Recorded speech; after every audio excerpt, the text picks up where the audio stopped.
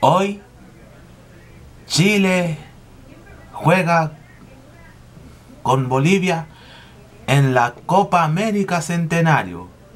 ¿Tienen lista la carne? ¿Tienen listo el pollo? Preparen sus asados. Chile ganará. Vamos Chile. Sí podemos.